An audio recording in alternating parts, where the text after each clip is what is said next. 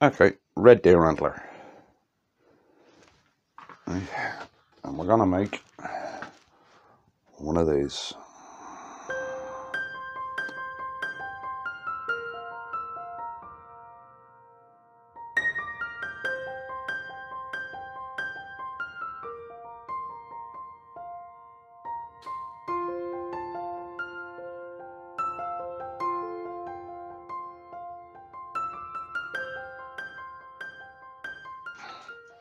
Right, when you start working with antler, um, you need to start thinking about it before it even goes on the lathe, right?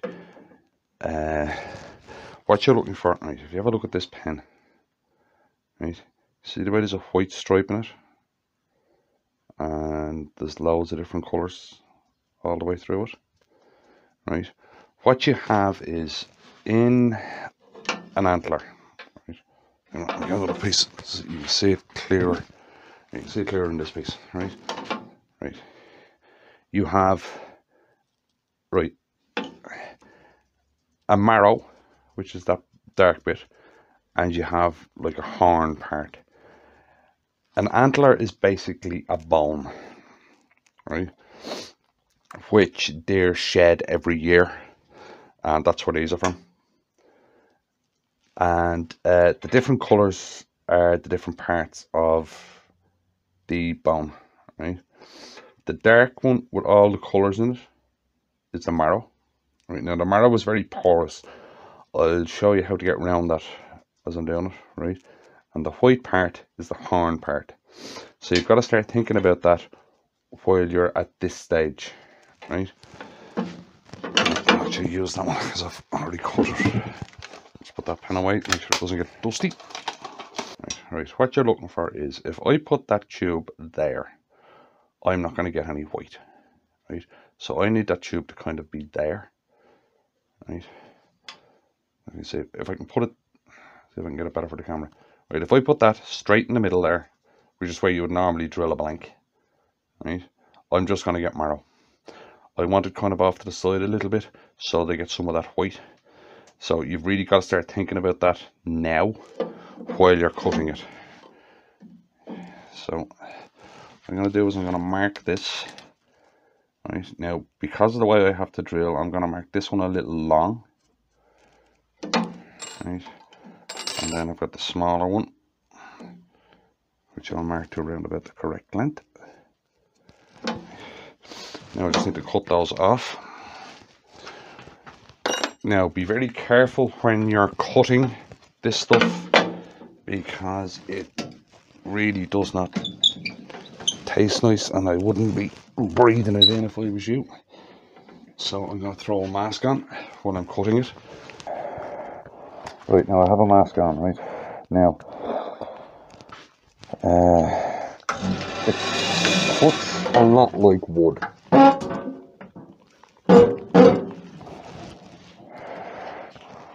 Then. It cuts a lot like wood. And you just got to be careful and slow.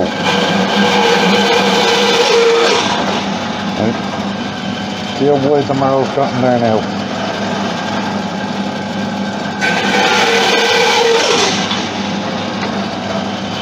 How wide it is there. Right. Now, for what I want in this pen, the marrow in that is too wide. I will not get white in that. Right? Unless I cut it. I, I will not get white in that unless I cut it way down. Which is what I have to do now. Right? Now, I do not want the drill bit going down, smack down the centre of this. I want it going off to the side a little bit so that I can get the white in as well as the marrow. Now, be very, very careful when you're doing this because it is dodgy. Right? What I like to do is to clamp it. Right. Make sure the clamp is flat. Clamp it down so that it can't move. Right, so my fingers are well back away from that saw blade. Right.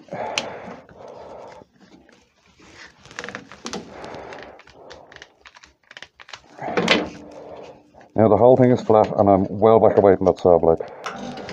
Right? What I'm going to try and do is cut close to that marrow.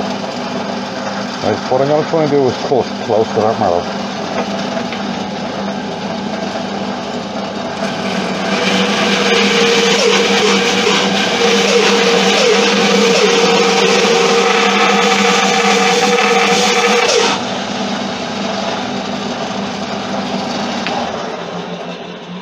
Now what, what that's going to do is it's going to move the cut from there to over there a little bit so that I get that white into it. Right, do that on, um, do that on both of, on both pieces. And you see these little pieces here, don't throw them away. They look very well laid into a box or a bowl or the edge of a bowl. So keep those little bits. Right, now we get over to the lathe and we start drilling this. Right, right, we're over at the lathe to drill this and I'm going to put a center punch in it first, right? Now, from trial and error, I have found that about 220 is a good speed to drill antler at.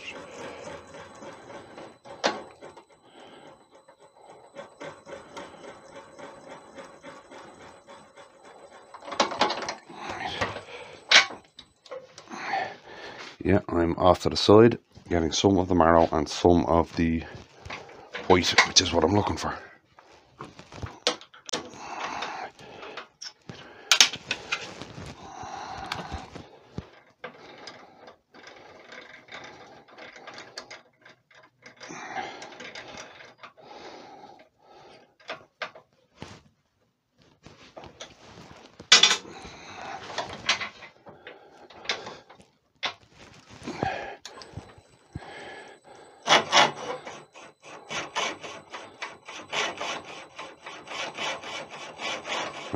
Really slowly.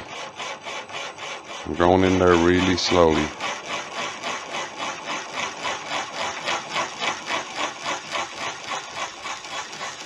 As I said, about 220 seems to be a good speed to drill this at.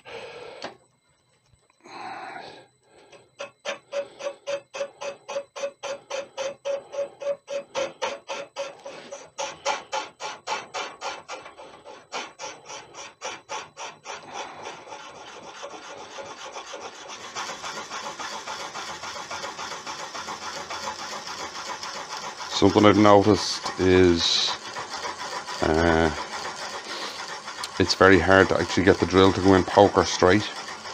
That you do get, see the oscillation in that? That you do tend to get that quite a bit.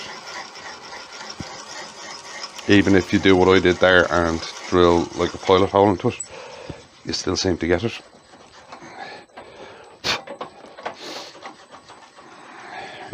Sometimes you get it perfect, sometimes not.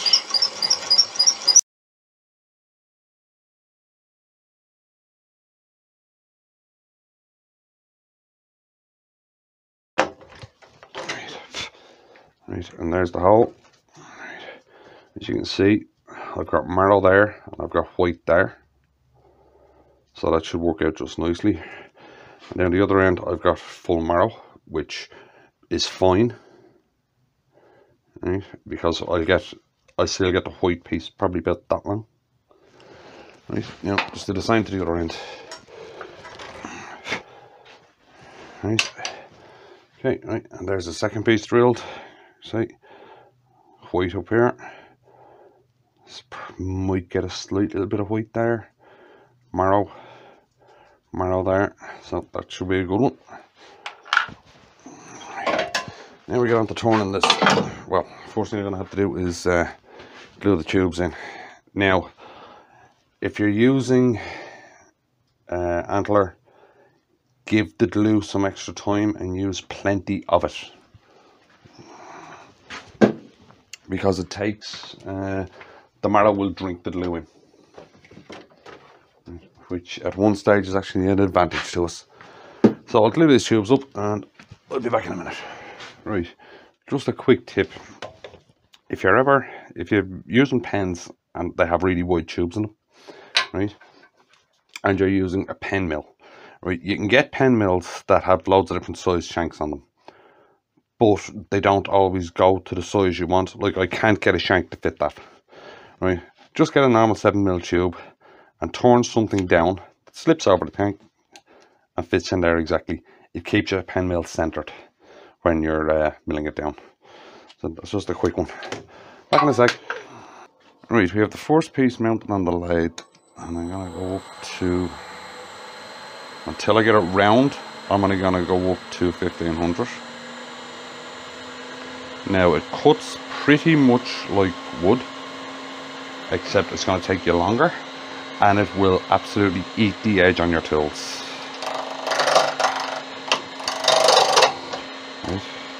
be gentle with this right you cannot take big cuts with this you've got to be gentle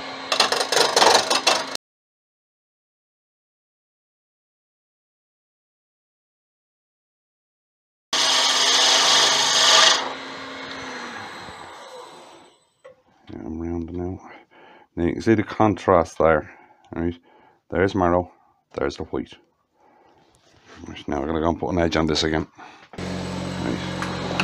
Now that I'm round, I'll go to my normal 2000.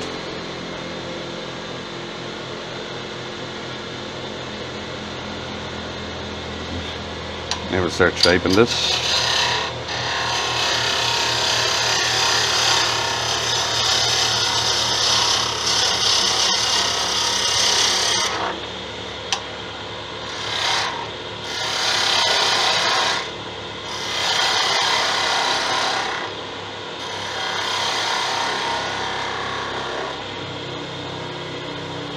Grant my wedge.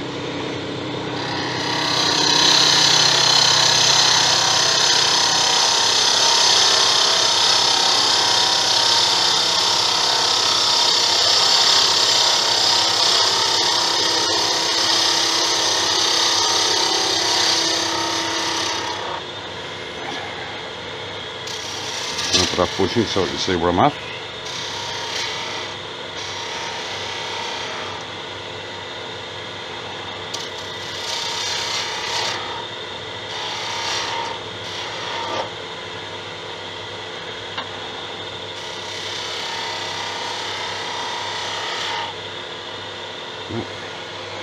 Now shape it.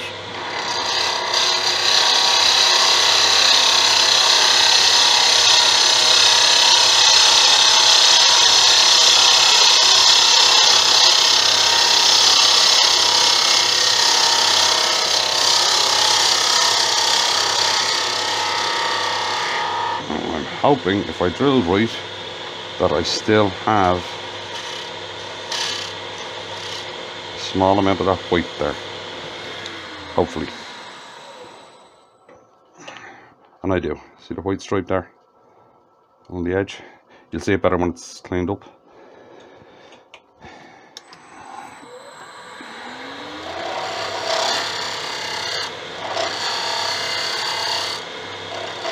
I like put a chamfer on the top of these to so that it feeds into the uh, the cap. Right. Okay, now it comes to sanding. Now sanding on these is a little bit different. The marrow is porous. I don't know if the I've zoomed I've brought the camera down as close as I can. Um the marrow is porous and you need to fill those holes. Now there's a load of ways of actually doing this right? I just have my personal preference way of doing it, right?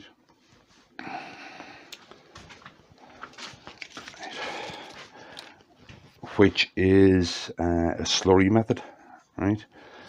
I need to fill all those pores. Right, so what I'm going to do is get CA, thin CA, right, and basically just cover the blanket. Now this is not the finish because as anybody who watched the channel for a while knows I don't particularly like CA finishes on pens. As you see there's a fair bit gone in there. Now before that dries, I'm just gonna turn it on to about 250 so that the CA doesn't splatter and I'm immediately gonna start sanding that. What I'm trying to do is build up a slurry to fill those holes.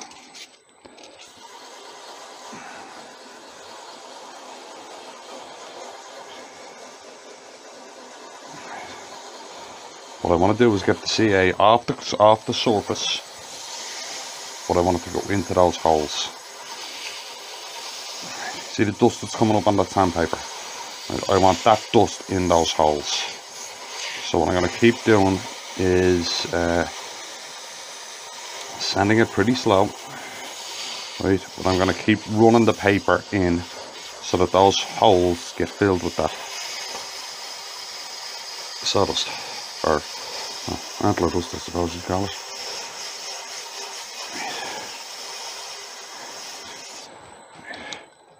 I'm going to reverse it. Get the dust on the top going in so that the dust goes into those holes both directions. Now the thing is, because the CA is wet, your sandpaper is actually going to get quite hot doing this. Just keep it moving. Try, try not to get the blank too hot.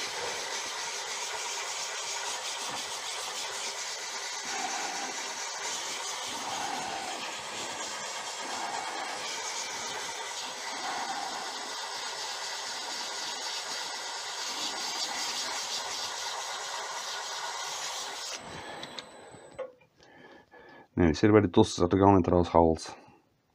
Right, so I want to see that again to lock that dust in there.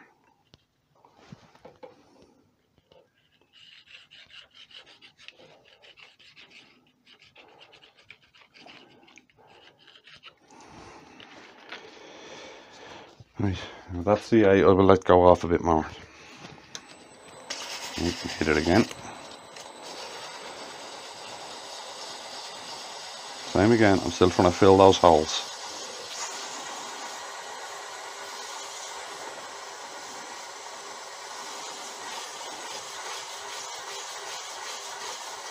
As I said, sandpaper gets quite hot down this. It's because CA isn't uh, gone off. Even though I'm only spinning at about 400. Yeah. Sandpaper gets quite hot. I'm using 150 grit by the way.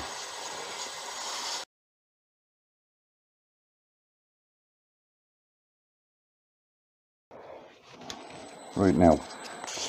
Now that the CA has gone off and stuff and I'm dry sanding, I have my mask back on. Because you do not want to be breathing in this stuff.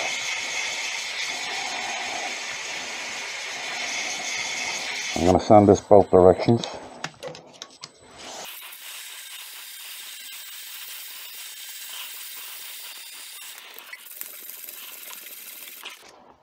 I'll be sanding up to 600. Now the dry sanding is done, I can take the mask back off and um, clean it down with meths or denatured alcohol.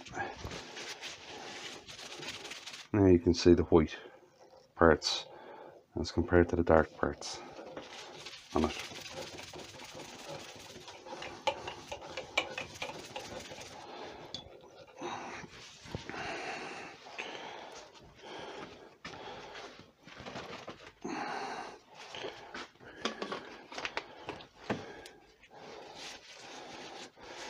Then what I'm going to put on it is some shellac based sanding sealer. Just to seal the surface on it.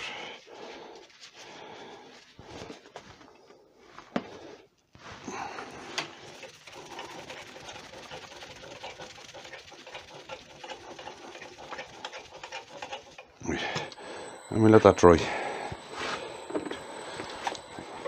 Now that's dry, I'm going to use some Yorkshire, some standard Yorkshire grit. Right, uh, because I'm wet sanding now, no need for a mask.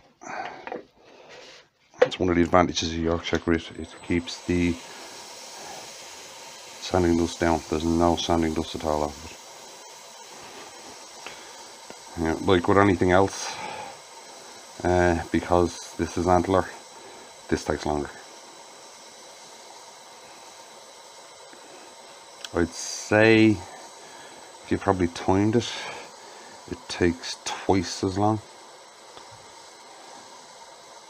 to do a pen out of antler than it does out of uh, wood. And if you're finding this interesting at all, if you wouldn't mind clicking like on the video, it'll help the channel out a good bit. And if you feel like it, there's a subscribe button just down there, I think it is. If you wouldn't mind hitting that. It also would help the channel out. Yeah, but the subs but the the like is the most important. So my social media manager tells me. For those of you who don't know, my social media manager is my teenage daughter, and I frequently get, "Oh, Dad, you should be doing this."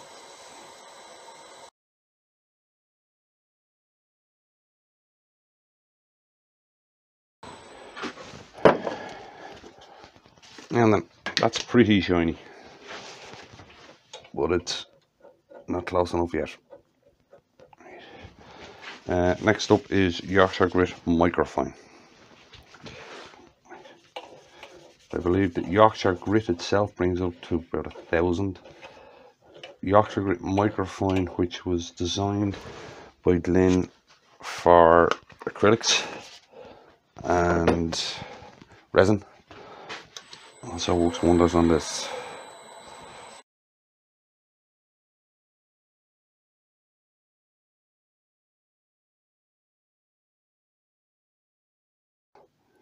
As you can see there, it's a much more even shine off that. But we're not finished yet. After the microfine, I'm gonna go back to my old friend Brasso. Right. Now, I believe that the Brasso over in America is a different formulation to the one we get here in Ireland so I don't know if this is going to work with the American version of Brasso. Hopefully it does. But uh, I do know that it works with the Irish version because I use this on resin as well. So put it on. Give it a few seconds.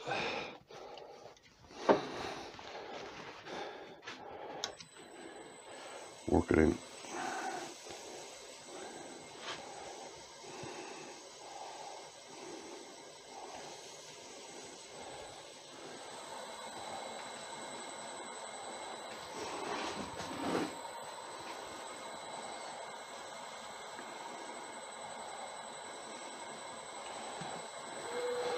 Like using Brasso as a top coat because it's, well, as I said, the Irish version of it is hard wearing and it just it puts a depth to the shine. As I said in the other video, uh, like any polish, metal polish, it's actually an abrasive.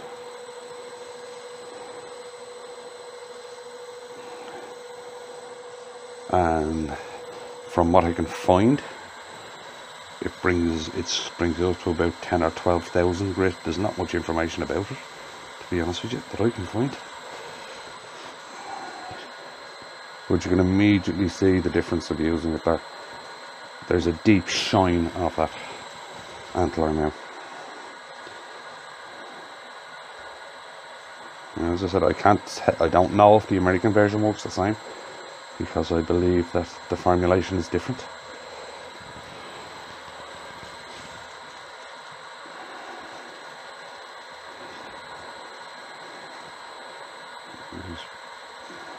work it in then buff it off.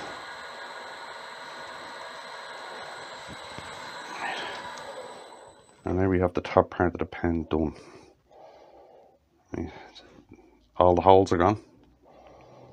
Right have the white part now I'm going to do basically exactly the same thing on the cap of this pen so what I'll do is I'll just speed through it and um, if nothing happens, I won't say it. Right, there's the second part. There's a splash of white I'm looking for. You know, I wouldn't have got those splashes of white if I hadn't have cut the side off it on the bandsaw. There's that part. Now we get to putting this together. Except there is one more small stage you have to do. Now, because you have used CA, you could get a little ridge there on the edges.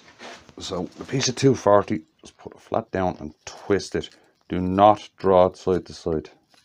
Just put it down and twist a couple of times just in case there's any CA residue on the end which will interfere with the pen going together. Like if you look on that one, if you can see it, there is a slight CA ridge on it. So we get rid of that.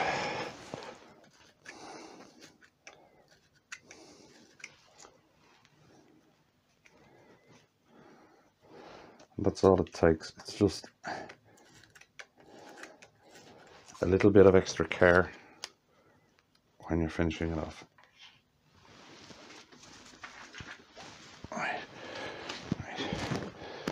Now we put this thing together. Now because this is mostly flat, I won't be using the um, the nib part of the kit that Seth sent me over. I will actually be using the flat of my old one. Now what I want to do is pick which end is which. And I want to show the white, so I'm leaving the white out one side.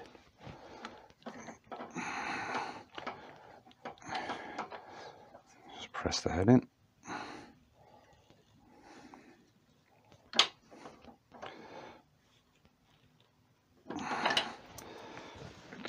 Of course being awkward.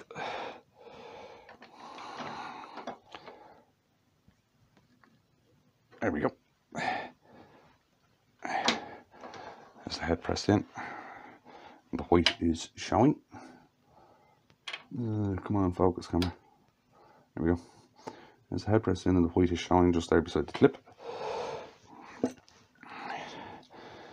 And press the acceptor in.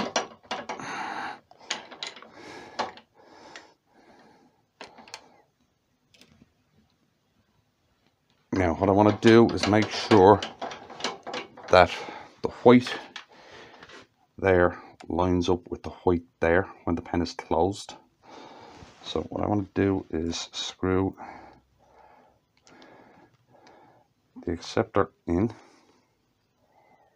all the way. Right. Line that up. Right. And just give it a small push. I don't want to give it a big push because I could wreck the threads. Make sure the white lines up. Give it a small little push just to lock it in place. Unscrew it. Then push it home.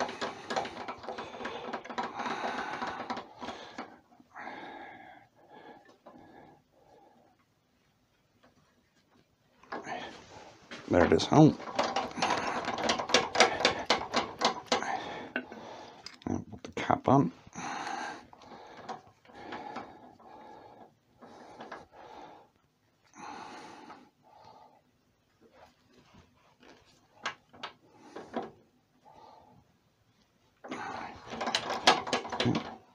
the I don't need it anymore. Right. Put the ink inside it up. Now, I never ink one of these pens because there was one day I was talking to a guy who does calligraphy and he was explaining that um, fountain pens, the first time they're used, they get a set in the nib. And uh, that kind of sets to whoever's the first person to use it.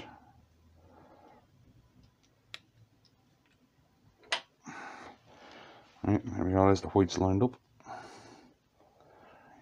And um, that the only person that ever should ever write one of these is the person who owns it. Because if the nib set's wrong, it's going to be scratchy. Right now, that's one done out of red deer antler. Right now, there's another type of antler which I don't have much of at all. It's called Sika. Right, it's from a Sika deer, and they call it poor man's ivory. Um, I'll do another pen out of this one next week, right? And and you'll see why it's called poor man's ivory. So I've only got this piece of it, right? But uh, so there's that pen. Hopefully the camera is actually picking up the shine that's on that thing. And that's without a CA finish on it. That's just very careful sanding and Brasso. Right, so I hope you enjoyed that one, and I'll see you in the next one.